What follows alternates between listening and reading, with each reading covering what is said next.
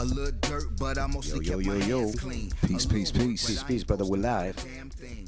Welcome back, everybody. Dead Black Monks Podcast with your boy Skip Rock and your boy. Safari.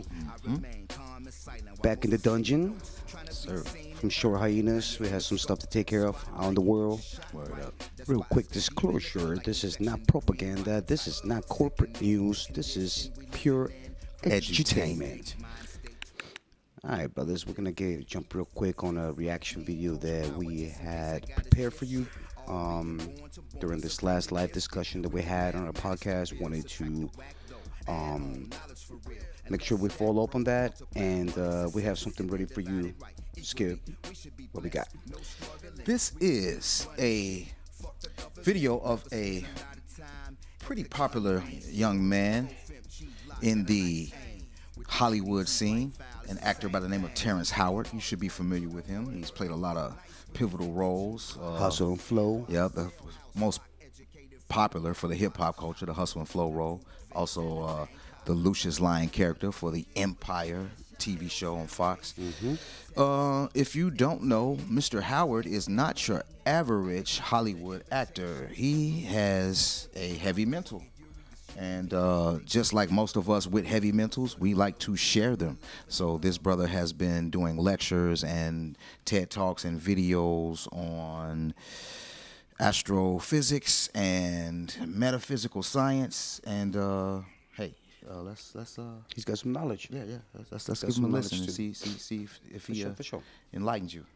Let's see what we got over here. Let me. Uh... How we approach our roast. All right, here we go. Yo, we're gonna press play and react to this video as we watch. Subscribe, DBM podcast. Here we go. Three, two. This will literally blow your mind.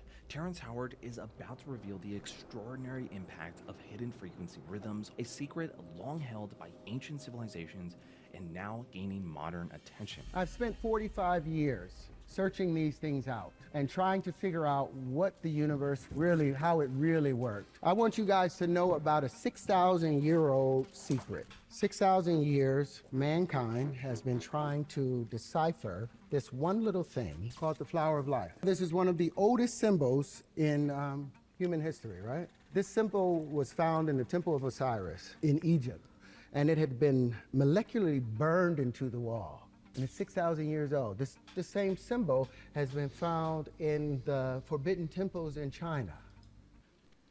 He said uh, he's been doing research for 45 years. How old is he? I think he by age 48. Yeah. Yep. Sitting under the fufu dogs, and the foot on it, the flower of life, saying whoever controlled that flower of life controlled the universe. There were secrets in that flower of life that Da Vinci spent his whole life trying to uncover. There were secrets in that flower of life that Newton spent his whole life in secret trying to uncover. They were trying to find a way to bring this flower to life because what is inside of it? Well, apparently, there were secrets inside of it. Shapes, they got the Merkaba and all of those other things out of it. Mm-hmm. But they were misled by something I think called a straight line. You believe there's straight lines in the universe? Well, let me hit you with something. All energy in the universe is expressed in what? It's in motion. If something is still, there's no energy. Mm-hmm. Kinetic, right? All motion is expressed in what?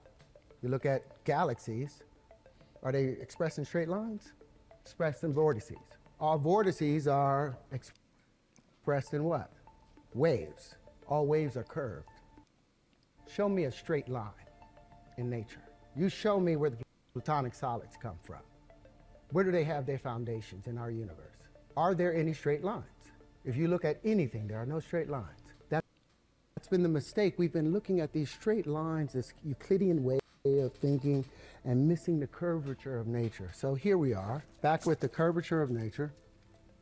And you have all these little pieces. Now, this has always been an information system. Compare some of these points, take a point here, and say, well, what's the space in between all of these things? Now, they've said that all the in between spaces, if this is the Earth and this is the moon right here, all this in between space is filled with what? A void. there's nothing in the void. Well, I found that there is something in the void. The elementary fundamental particles that they've been searching for at the CERN Collider, Hadron Collider CERN. I found that their temperatures matched perfectly CERN will be one of the next to some of the videos. Pieces that to I was able to pull out of here. They couldn't get It's right in the in the books. Mm-hmm. Give it a little sec. Yeah. it out of this two-dimensional frame, and as a result, they got stuck in this plane, a flat plane. But, but all of these wave conjugations, all of these states of matter, all of these things, there's time. Come on, man. It's time for that to be changed now. We have changed all of our, our buildings to be aerodynamic. Our airplanes are no longer based on a two dimensional Euclidean way of life, but our math is still based on a two dimensional way. Euclidean, And I think in order for us to reach the future, we have to examine that. Do you guys know about um, loops in math? Do you believe in loops? Do you know the square root of two? Do you think that's a loop? Do you believe that the square root of two is the square root of two? I want y'all to take out your phone for a minute then. This math We're going to do one thing. Put it on the calculator and turn it to the side so you can get all the long numbers out of it. Now I want you to put in 2 and square root it. 2, hit the square root. You'll get 1.414213562373095 dot dot dot, right? Now I want you guys to do me a favor. Cube it. It'll see right over there, it'll be x to the 3. It'll see 2.828, 4271, 2174, 6190. Now that makes sense. I want you guys to do me a favor. Divide it by 2. Got that number? Cube it again. Divide it by 2. Cube it again. And I want you to do that until the end of your lives. and that number will still come up with 2.828, 4271, 2174, 6190 any other number that you above two that you put in and you cube and you square cube and divide by two. By the sixth operation it has moved into an exponential number that you can't even imagine. Any number below two that you do that same operation with it will go into an exponentially small matter and number. This is what we call a loop. It is illogical. It doesn't make sense and it does not make math make sense. So these are some things that, that um, I'm bringing to the fore and that I would like to question. I would like to audit the math, the world of mathematics, and I would like to audit how we view the Platonic solids because I think the new wave conjugations will tell a better story of how our world works. So our DNA is made up of what? Five elements, right? High AGT strings. Okay, I gotta pause that for a second. That was a lot. Hey, he heavy, bro. Super heavy. Super heavy. You know, I like the eloquence, of course, but the flow of words that come natural from knowing your science. You can tell he's real versed. It's always very telling, yeah. and uh, Yeah. he's been looking into it deeply Yeah. from different angles. Made had to make sense for him in order for him to be able to orate it. Mm-hmm. You know, uh, at that level of confidence. Mhm. Uh, it's very uh, uh, it's very commanding for sure. Mhm. Let's see what else he got. Yeah, I remember in one uh, interview he was, I can't quote the age that he said he was drawn to the symbol, tree of life. He was pretty young, so for him saying 45 years, he's been like pondering that shit. If I'm not mistaken, he might be a little older than me. He's got to be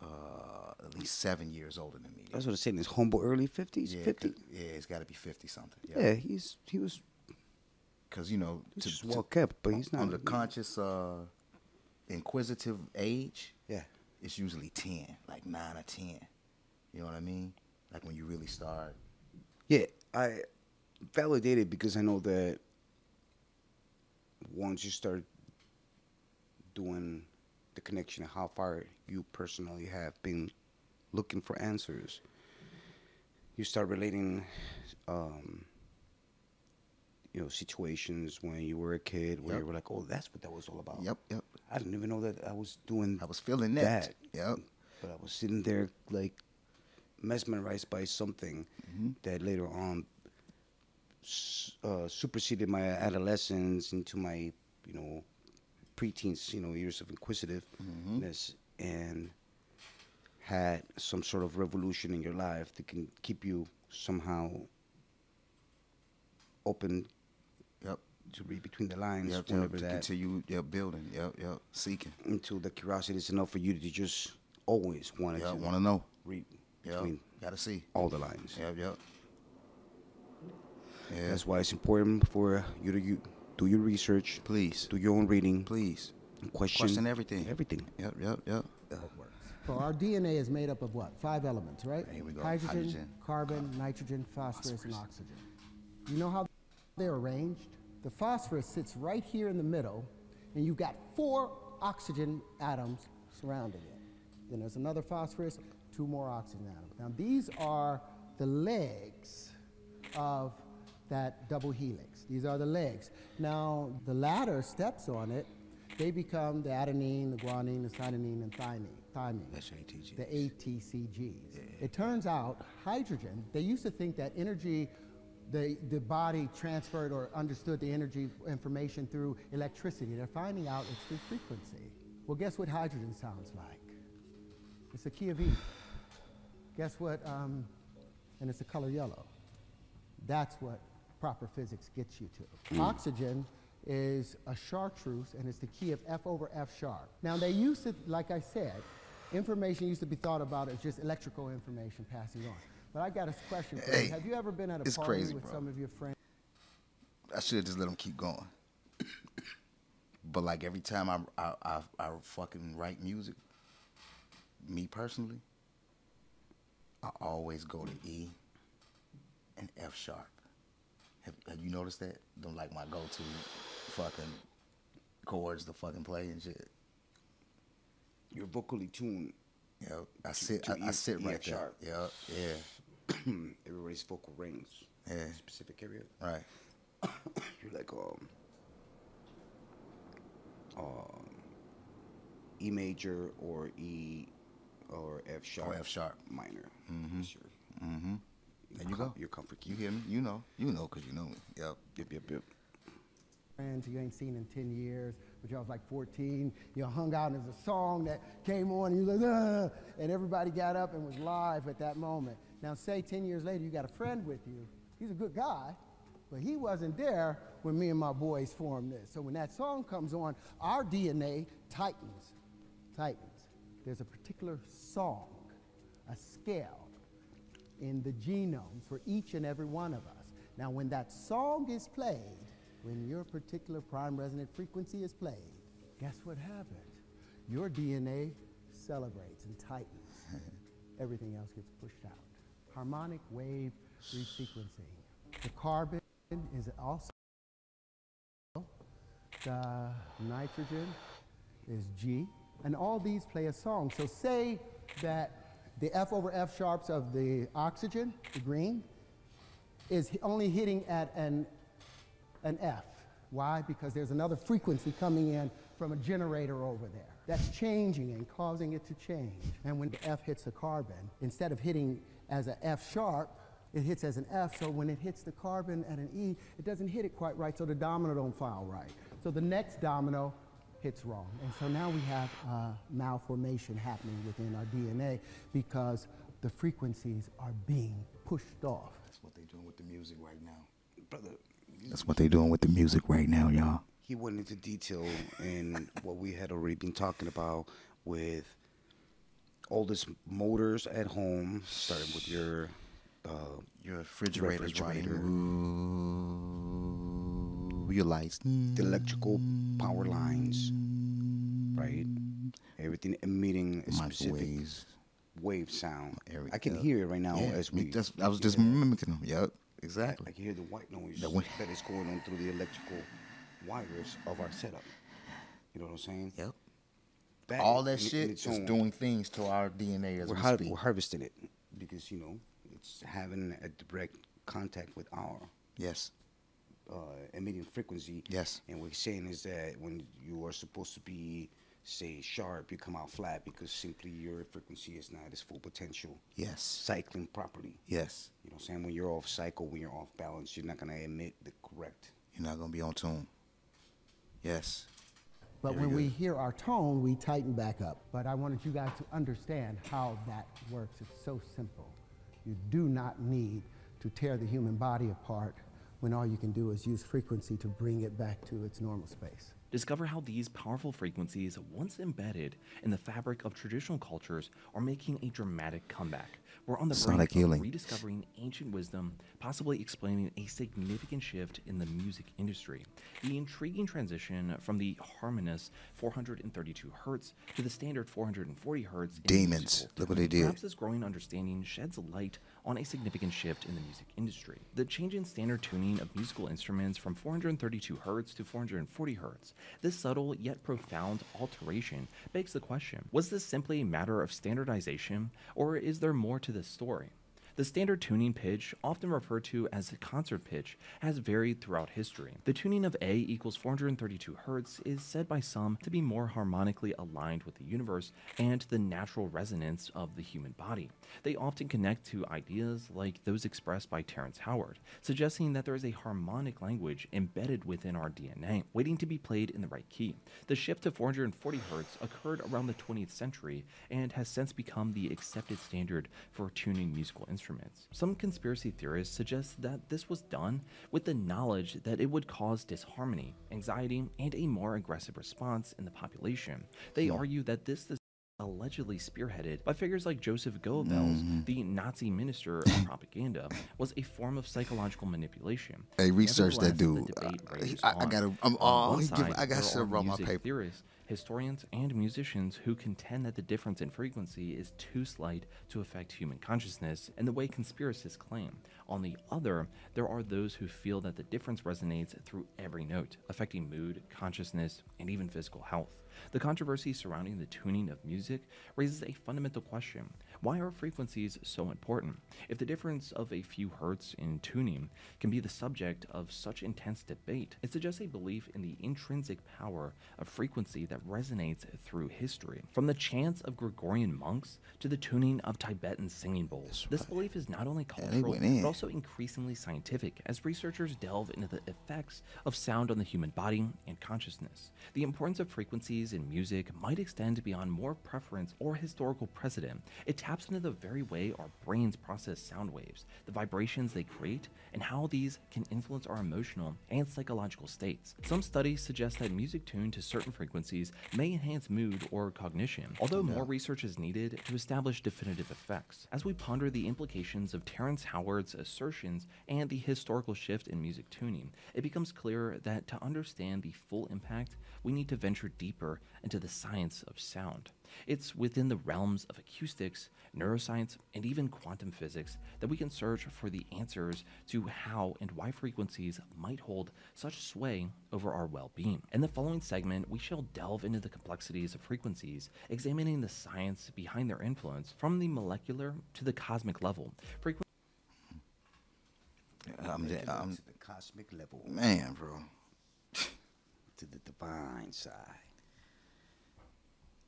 This is dope as fuck. Yeah, bro. it is. It's Oh, a little, a little roundabout of information. It's very well spelled out. Mhm. You know, like, Yep, o- not o- not o- too complicatedly described. Yeah, Yep. over years of me just watching all kinds of videos explaining the different sciences and then putting it together in my head.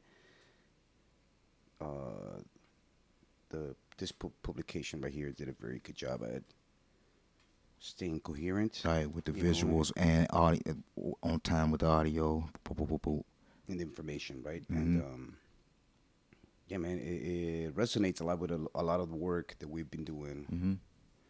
you know, over the years Mhm. with, um, you know, the the mathematic, uh, you know, spiritual side of our music, Mhm. and um, and and how it was delivered, right? Like you know, that's another thing too. Like, um, being cautious that, you know, it's not, it, it, it's a tool, Yep. right? It's a, it's a skillful tool Yep. they can very easily be utilized to manipulate. Yes, sir. And Can be weaponized quickly. You know, staying uh, and keeping that in the radar. That you know the potential that it has also to cause harm if Mm-hmm. not used properly. But if used properly, it can also emit, emit very healing vibes Yes, sir. into you know the listener, Yes, sir. which is you know what we're working, what we're dealing with. Very interesting, man. This was, this was really dope. Mm-hmm. Mm-hmm. Insightful as fuck, bro. Well, yes, sir. But uh, yeah, uh, we're gonna keep you all tuned and uh, keep it rolling. Uh, have a couple other videos to react. We'll come back. Just keep yourself posted on the YouTube channel where we are gonna be doing some live uh, podcasting coming up soon. We're getting prepared for that. Word up. So stay in tune. Dead Black Monks. Da- podcast. Dash. Rebel Radio. That's our YouTube handle, right? Correct? That is correct. Subscribe, subscribe, subscribe. It's gonna be some fresh live business popping off pretty soon. Uh, yeah, Facebook, uh, music page, Dead Black Monks, regular spelling, link in. Yeah, one word, Dead Black Monks, uh, on Facebook.com, and uh, we'll write some links to that, and also to um, you mentioned doing some homework on my man, the German. Yeah, yeah, K- Kababo. I, I, I've heard, I heard about him back in the day, and I, now that they showed that, I'm gonna pull up some shit on him because I, I read some shit about him on his propaganding and sound manipulation, how they was using shit to make like soldiers sick, woo, playing shit. You know. Okay, So, okay, that sounds uh, cool. Uh, so we, sounds like we're gonna be reacting to a video about my man, Yeah. and or some information about my man, and then uh, also uh, try to wrap around back to Cerna Yeah, yeah, yeah. True indeed. and stay in the conversation. So uh, just do your homework, do your reading. Send ideas, Yes, send please do. requests if you want us to watch videos and react to any information or something like that you would like us to research or build about. Shoot us, shoot us some some some messages. Subscribe to the channel and like if you like what you see and you enjoy what you hear, and uh, we'll be back with you next time. So peace out. Peace, peace. They're black monks.